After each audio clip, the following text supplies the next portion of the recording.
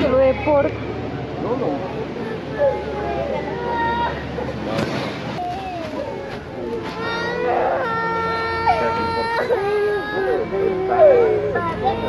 Porque ahora iba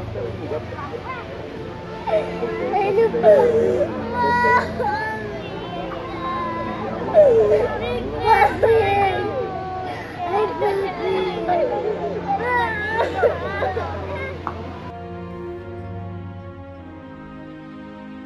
Soy Carlia Villalobos y soy orgullosa de ser mexicana americana y más allá chihuahuense y de California también. Con mi abuelita y, y mi abuelito.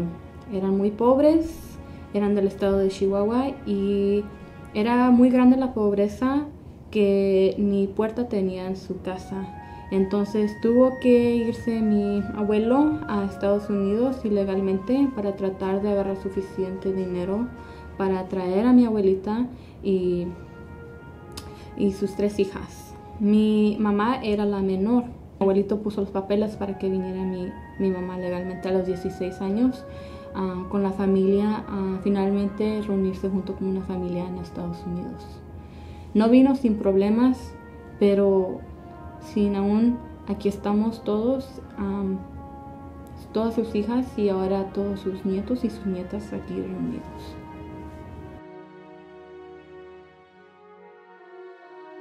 Porque yo también soy orgullosa de ser americana y tener los privilegios de, ser americana, de poder hacer mis estudios, ir a colegio, graduarme de colegio y tener oportunidades que quizás no haya en México o la pobreza que a veces se vive en México. No es por decir que nomás hay pobreza, porque hay tantas bellezas de México que que a veces no se ven, ¿verdad? Y aprendí mucho de ir a México, de las naturalezas, los minerales, todo lo que se puede expandir México, porque es muy bello.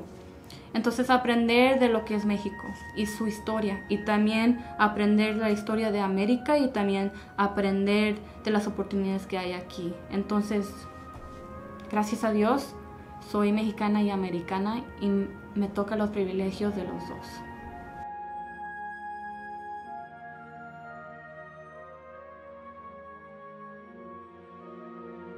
Hola, mi nombre es Jorge Castillo y yo soy nacido en Guatemala. Por la razón que venimos aquí a Estados Unidos porque éramos, era una oportunidad que nos iba a proporcionar con más seguridad, íbamos a estar todos juntos como familia y había oportunidades así como aquí estar en la escuela y tener una casa donde uno no se tiene que preocupar que al salir lo puedan asaltar o pueda pasar alguna tragedia. La situación política en Guatemala es algo parecida aquí, pero puede ser que es más corrupta. Um, es el mismo sistema demócrata, pero se mira mucho más delincuencia, mucho más eh, corrupción entre la policía o los que los generales que producen la ley. Me siento un poco identificado y a la vez triste también porque yo sé que es una situación eh, muy fuerte y controversial y no es es una de las que no puede no es una solución que es verdad o que sea malo solo las situaciones de la vida y uno a veces no sabe con qué decisión tomar. Pero sí me siento muy triste y pues yo quisiera ayudar como se pueda en lo que pueda ayudar yo estoy dispuesto a ayudar